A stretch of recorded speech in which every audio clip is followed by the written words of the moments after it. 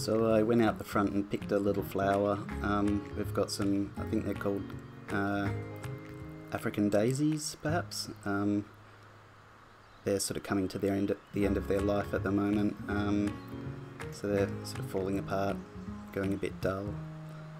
So I picked this one and it's a bit corroded, but you can see the little insects are still very busy inside it. Little grains of pollen here and there.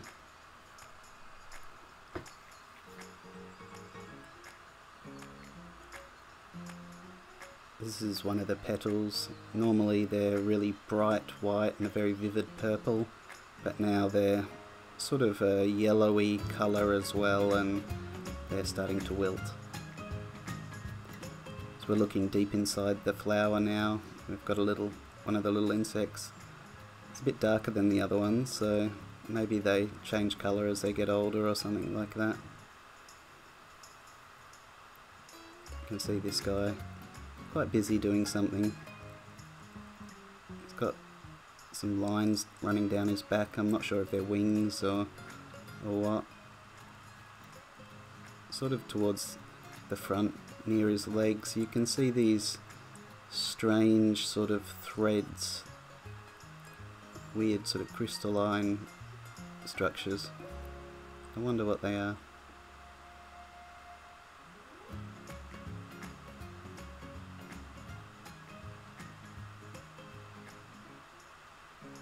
really love that purple. It's just so vibrant.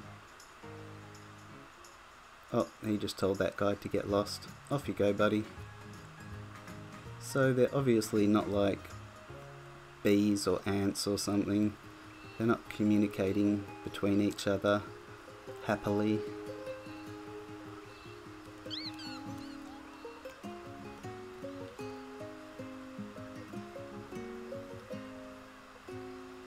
If anyone knows what they are, they can let me know, that'd be great.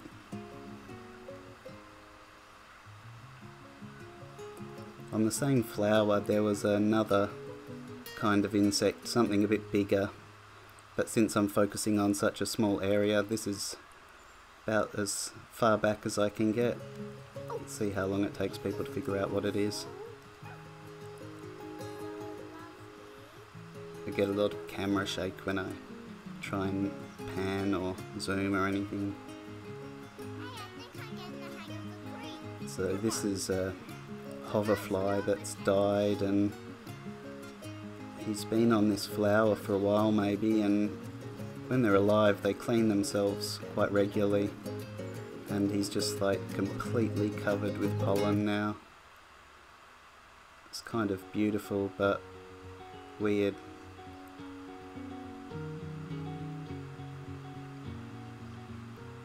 That's part of the legs and you can just see the coating.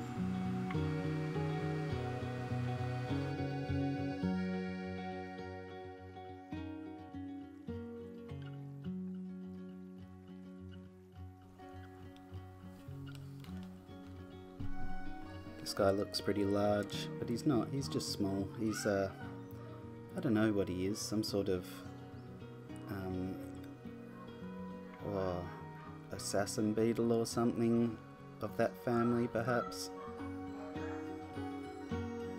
It's funny when you point a camera, even at the smallest of beetles, they just see a giant eyeball staring at them and tend to go completely frozen and not move. There's a bit of sap from the plant, the reflection.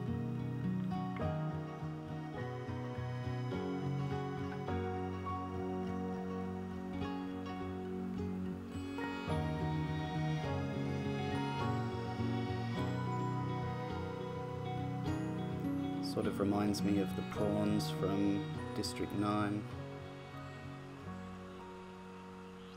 You can sort of make out the the structure of the eyeball a little bit and see some of the really tiny little white hairs on its head.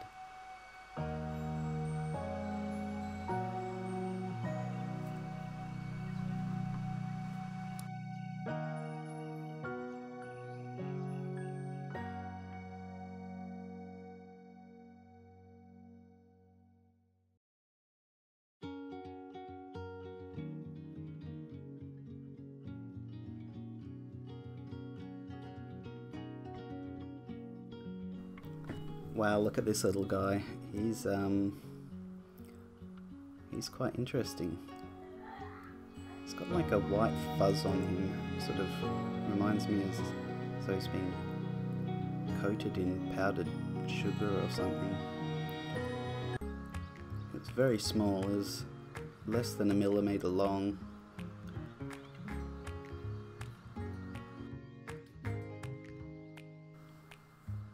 Think we all know what this is, but as I was filming it, it realised pretty quickly what was going on and then just stared straight at me.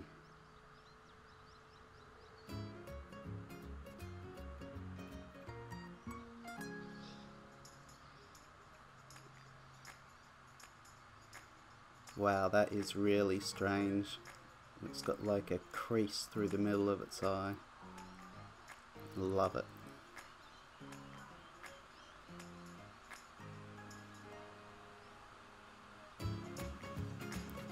Another random creature I came across. This one was literally too small for me to tell if it was a real living thing until I started looking at it through the GoPro and it is cute. No idea what it is. That is an awesome little creature though. Look at it.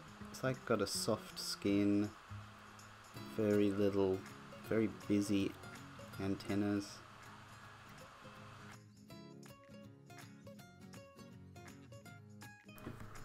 Okay, this is a little aphid. This is pretty funny actually. I took a video of an aphid and I think it's doing a poo. Okay, have a look at its back end and it's like really constipated. It's trying to get it out. It's using its little legs. Oh my god, this is a tough one. It's thinking, oh no, have another go buddy. You can do it. Yep, you got it. Get it. No. There we go. Beautiful. Now he's like, oh shit, I got it stuck on my hand. Ah, damn it. And then he flicks it. Check this out. Flicks it. Oh, stuck on his little antenna now. Good work.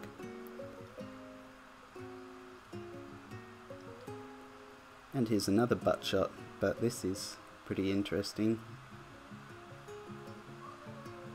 So we get lots of aphids on plants, but they don't really get into anything that's not a weed anyway, and they are some interesting little things. So this is the exoskeleton that they've crawled out of. They glue it their own feet down. And that's just a nice little bit of leaf.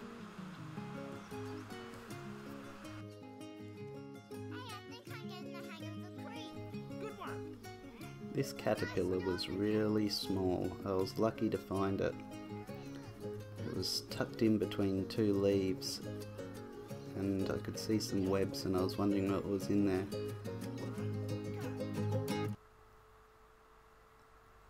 Again, they don't really like being watched. I'm not moving or doing anything abrupt, but you'll start to see he gets a bit busy in a, in a minute or two.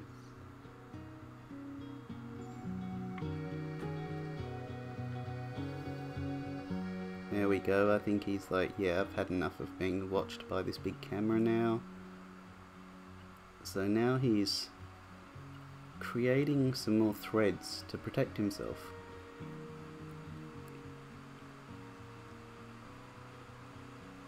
So I'm trying to focus on him here. There we go. So he's pulling the little threads from one end to the other. You can see his little I don't know what you call them, legs on the threads. That's amazing. Backwards and forwards.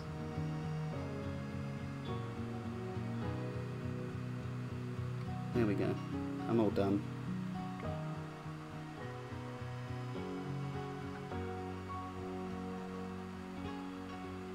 Or am I?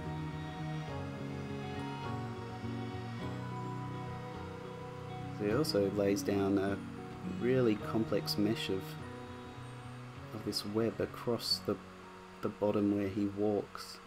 So maybe it gives him something to hold on to. He feels safe on it.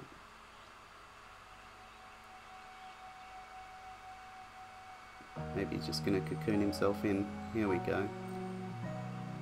Starting to run threads across all the little openings now.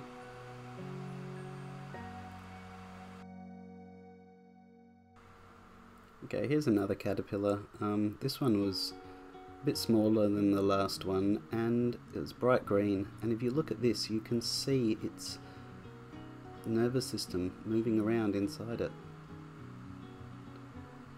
I'm not sure what's going on here. I mean obviously he's giving himself a bit of a clean but what's that black thing that sort of bounces around inside him? It looks like something trying to escape but I think it's probably just his stomach and he's like as he's swallowing the things that he's getting off his little claws he his stomach's moving around inside or something like that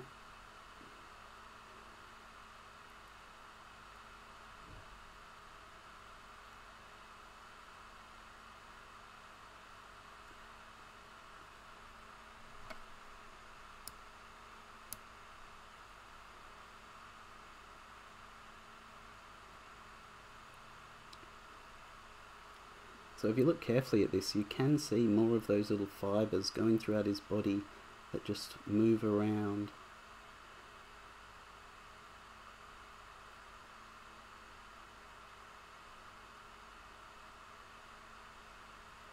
Sort of reminds me of a, a balloon, a balloon animal